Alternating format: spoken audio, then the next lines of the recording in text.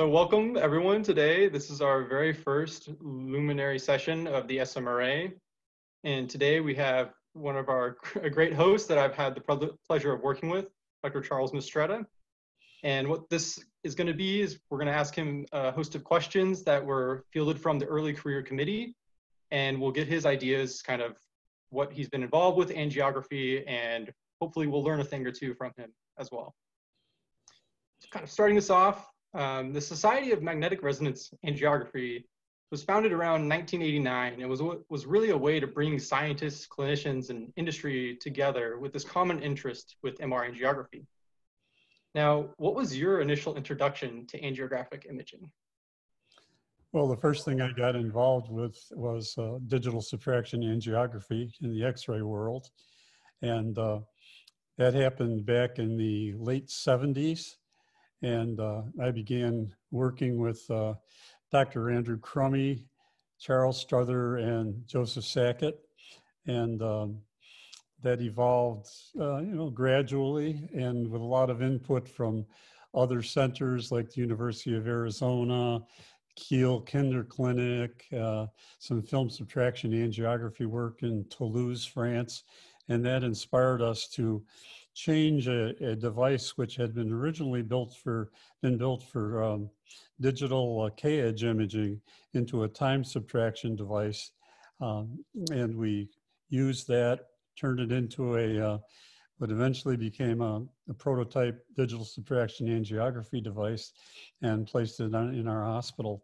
Uh, I would say that the uh, collaboration with Dr. Crummy uh, was very important to me. I was a high energy physicist who had just changed into uh, radiology, medical imaging. I really didn't know much. In fact, he taught me that arterial anastomosis was not the guy who married Jackie Kennedy. And uh, so that collaboration uh, went on for years and years. And uh, of course, digital subtraction angiography was introduced in 1980 at the RSNA. And uh, that evolved and uh, into what became a, uh, a pretty important uh, introduction. Excellent. And how did you become involved with the SMRA community actually? Well, uh, after being in X-ray for a long time, I said to myself, gee, wouldn't it be fun to learn some MR? so uh, in fact, I went to uh, to Willi Kalender, who was my former student, and said, Willi, I think I think CT is dead, which of course was wrong. And I said, why don't we go off and learn some MR together? He says, well, I think there might still be some things to do in, uh, in uh, CT, after which he was nominated for the Nobel Prize for spiral CT. So, so much for my prognostications. But I did go into MRA. I started going to uh, what was then the MRA Club. Um, and of course, in those days, things were uh, non-time resolved. There had been some great work by Chuck Dumoulin and uh, phase contrast, Gerhard Laub and time of flight, um, but it was all non-time resolved. Uh, but I started going to the MRA meeting. Eventually, Tom Grist uh, suggested that there ought to be a an MR analog of DSA, a time resolved DSA, because the problem was in those days that when you did a contrast enhanced injection, um, the timing was critical. And if you didn't get the center of k-space when there was adequate contrast, you'd get very bad images. So he conceived of a time resolved sequence where you'd have a choice of where to take your images and you'd always get the center of k-space. So um, I ran with that idea, and implemented it on a uh, platform called Alice and that seemed to work. So Frank Korosec then uh, implemented it very quickly, and of course it became a, uh, a clinical, a helpful tool. Excellent. Yeah, great. Um, so you mentioned that uh, you came from this high energy physicist background and really brought got brought into this medical imaging area of field of research. Uh, when did you feel kind of that you'd become established in medical imaging? Well, I think it was uh, um, after DSA got running and we started getting clinical evaluations that were favorable. I should tell you a little story about John Cameron, who was my kind of physics mentor. I was a high energy physicist uh, with limited theoretical capabilities. And my, my greatest asset, I, asset was I could uh, stack uh, shielding bricks, lead bricks. And so after uh, three years as a postdoc in high energy physics at uh, Wisconsin, I found out there probably wasn't going to be a spot for me in high energy physics.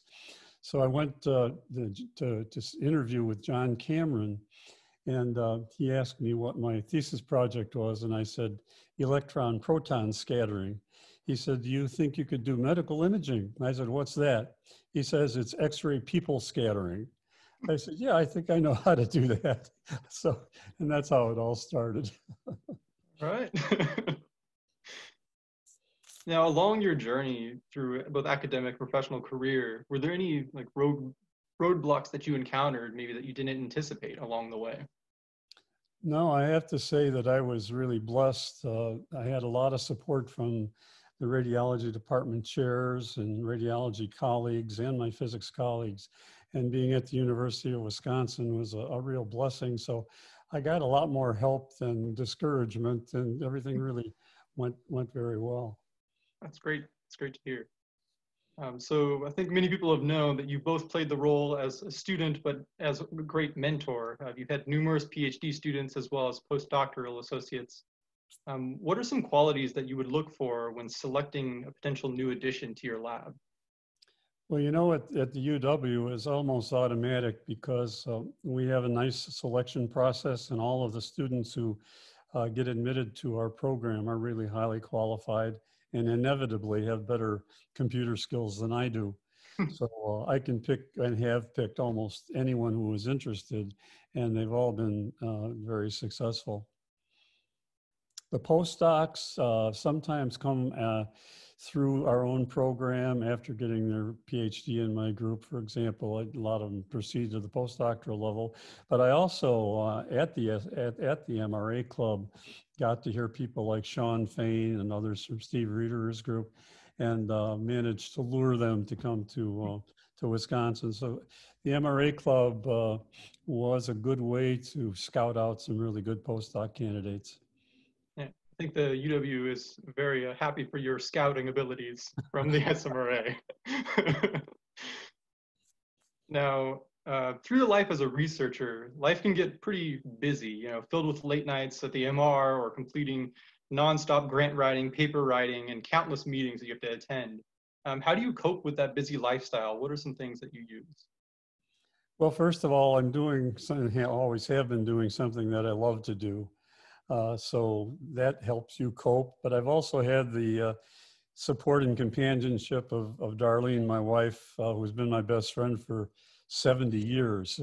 And uh, that kind of support and her managing our family life and our travel and all that sort of thing has really been very helpful. I've also done uh, my share of fishing and golfing and music and those sorts of things. So it's been a, it's really been a pleasure. Were there any times where maybe you found that the balance was off between them and you had to kind of readjust? Well, I always gave the family first priority, and uh, that didn't interfere with the work, but that was always my first priority, and uh, uh, I would do it again that way. Excellent. Now, I think you're an idea machine, as many people know. Um, any meeting you present an idea and you already moved on to, to the next three while we're still figuring out the first one. Um, where where have you found the most success with generating new ideas? And is there any idea, uh, advice you would give researchers earlier in their careers? Yeah, well, I think it's important uh, to establish collaborations with uh, clinical people. And Tom Grist has been a, a really big uh, source of ideas for me. Uh, so establish good relationships, uh, get input from people who know what the problems are that need to be solved. Another thing I would say, uh, I've said this many times to young people, is that when you're trying to figure out a uh, an improvement or something to make the world better in imaging, don't look at what there is at present and try to make an incremental change. Say to yourself, what would I do if I could start all over again and do it the right way? And just jump to that and try something, even if it's a little bizarre. Uh, it's always fun to try something totally new. Hmm. Ah, yeah. It's hard to start from uh, basic building blocks or from nothing and create your own blocks to make something new. But sometimes I get inspirations from other colleagues, like uh, Jürgen Hennig has been a real inspiration. I, I, my whole career has been sort of built around uh, accelerated imaging and trying to go faster and get more SNR and more spatial resolution and violate the Nyquist theorem as much as I could. And uh, it, I think it was in 2005, Jürgen Hennig presented a lecture where he said if we if if everything in the angiographic image stayed the same, you could get a time resolved series just by collecting the center of k-space uh, each time. And that, that led me on to thinking about uh, constrained reconstruction, which eventually led to the uh, HYPR. And combining that with, uh, with uh, radial imaging, which was also kind of a radical thing. Combining those two let us get up to a factor of thousand violation of the Nyquist theorem. So we really got going very, very fast. Throughout your career, I think many people know that you've collaborated with a numerous amount of labs and people, um, and many of them are still involved with the SMRA. So what are your thoughts on collaborations and ones that have really worked the most successfully for you? For me, I've had the opportunity to collaborate with the clinical people at Wisconsin a lot, and that's worked very well, and that's always the easiest thing to do. But I've also had good collaborations with uh, the people up at Mayo, for example, and most recently in CT, where they've supplied us with uh, CTA, CTA images for our uh, coronary artery velocity measurement. And uh, we're presently collaborating with them on a technique to reduce CT fluoroscopy dose by a factor of 500 because they happen to have some equipment that we don't have at Wisconsin. So that's been a very good collaboration. So I would advise young people to keep their eyes open for uh, collaborations both in their department and if necessary outside the department. Hmm. Now this might be a question for uh, still early career, but focused more on the grant writing. So I think your first grant acceptance was in 1985, and there was dozens to follow after throughout your career. Uh, what skills have you found most important in the grant writing process? That's a tough one. I've had a lot of grants turned down, but uh, in general, you want to have a, a proposal that has relevance, something that's going to make a clinical difference. Uh, you want to propose some well-defined and understandable specific aims. You want to design typically um, simulations, phantom experiments, animal experiments, and sometimes go on to, to the uh, human experiments. So um, lots of times you'll send in a grant and you won't quite make it, and then the reviewers will come back with suggestions. Most of the time these suggestions are well-intentioned, and uh, most of the time I can remember we usually would score on the second time around. So you want to be persistent, don't get discouraged, and try to make it better. Try to make it simple so it's understandable. Yeah, so you mentioned um, that I think everyone's experienced a grant refusal. Um, what were some difficulties that you encountered, I guess, with this grant process?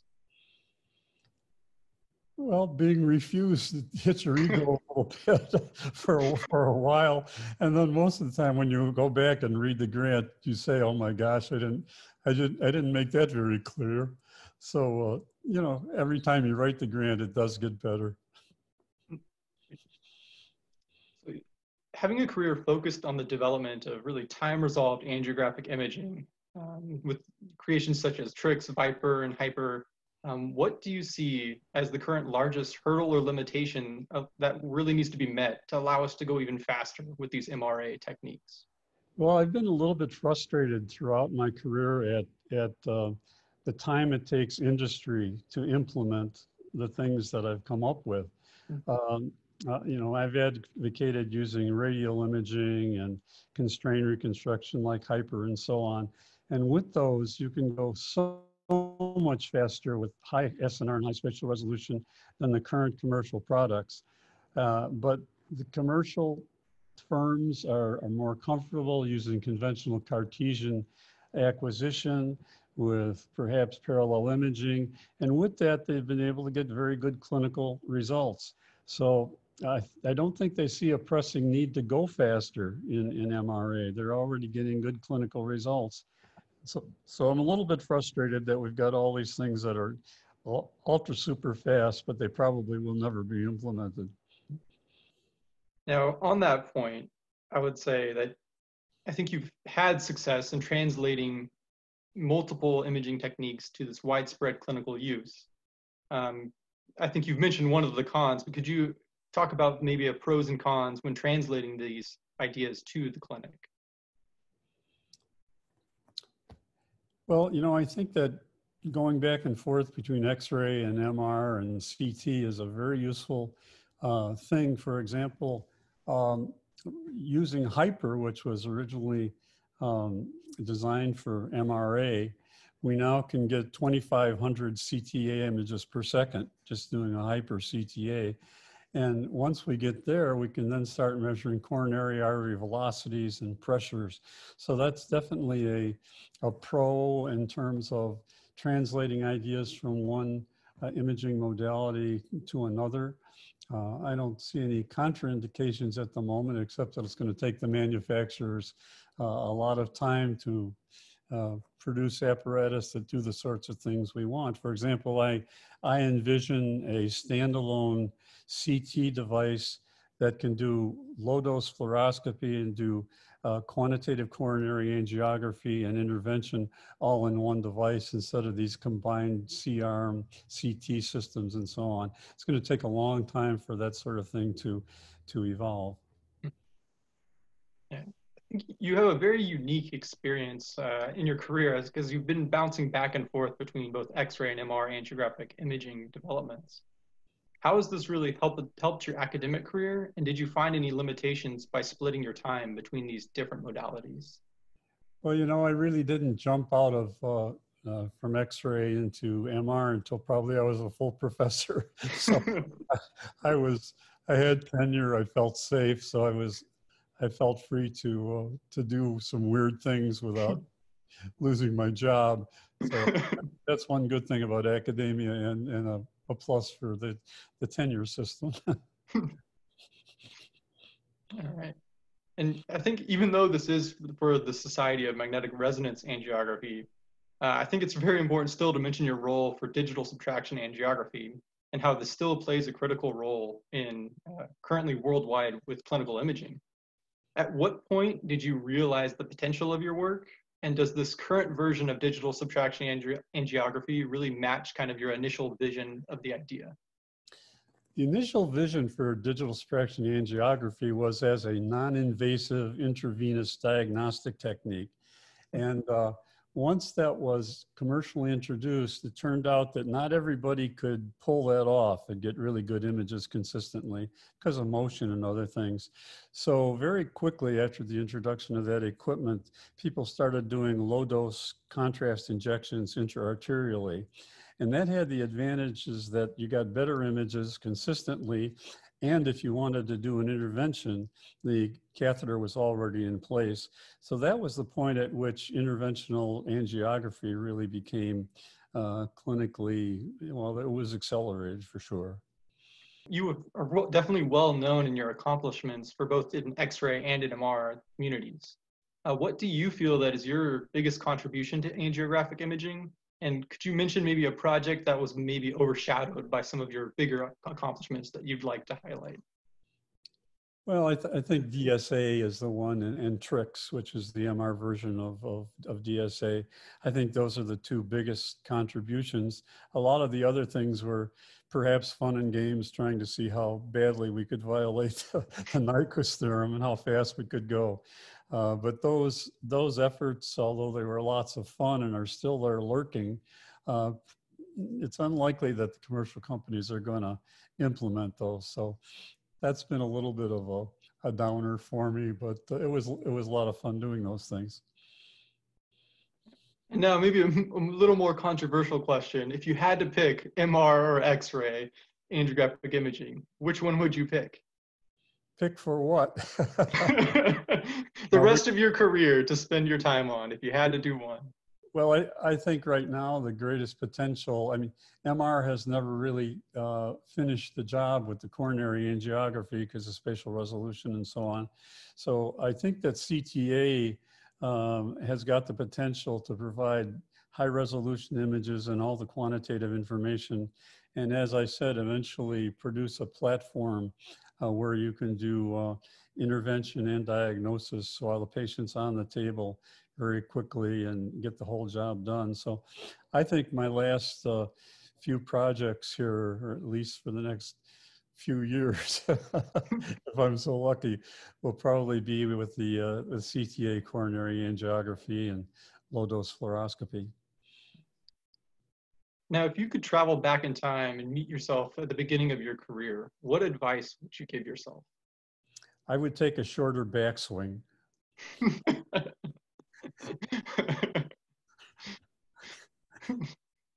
I always get Dwight Nishimura uh, that his backswing is too uh, too long. Uh, we enjoyed playing golf together over the years, and uh, I don't know if Dwight's still playing, but because of my back, I'm not. But I think my career would have been better if I'd taken a shorter backswing. I think you've mentioned some ideas of um, maybe where the future of MR angiography is going. So what do you envision is the next step for angiographic imaging, specifically for MRI? Well, I, I think it's in pretty good shape. We, we have time resolved MRA, uh, maybe more quantitation, but uh, uh, I, I, think we've done a pretty good job in bringing it uh, to a good clinical level. I mean, uh, they haven't always used the techniques I've recommended. Uh, I mean, people like Steve Reeder have always done a great job uh, optimizing uh, what could be done practically and acceptably to the manufacturers and, and conducted lots of good solid clinical uh, tests to make sure it works. So I think the MRA has done, SMRA has done a great job in, in consistently refining the clinical results. Um, and I'm very, very happy to see that. Now, if you could select the next location for the SMRA to be held, what, what's kind of a top top location that you would pick? you know, one of the great things about the SMRA is all the beautiful uh, venues that we've had. I mean, Darlene and I have been to probably 25 of them, made lifelong friends. In fact, the women uh, still uh, do Zooms every second Tuesday. They've become very, very good friends. And of course, their spouses are, are very good friends and colleagues. So it, has been a, a, a, very great uh, thing for, for establishing friendships and, and seeing the world. I don't know where I'd want to go back to right, uh, right now, somewhere where they didn't have COVID, I suppose. That's a fair enough. yeah. And I guess one final question, uh, if this is kind of a highlight, whatever you want. Um, so any words of advice that you would like to share with the SMRA community or any um, new ideas of research that you would like to see people kind of go into? Once again, I would encourage the young people to think about things that could really make a big difference. Don't go for a don't go for a 10 or 20% difference. Look for factors of two or three at least and uh, just do things that are a little risky and uh, in general, uh, those will be more fun. And if they pay off, you will have made a good difference. Well, thank you so much for your time and participating with the SMRA Luminary interview and being on the first one. Um, I hope they continue along and we you can see a whole host of other friends that you've made from the SMRA.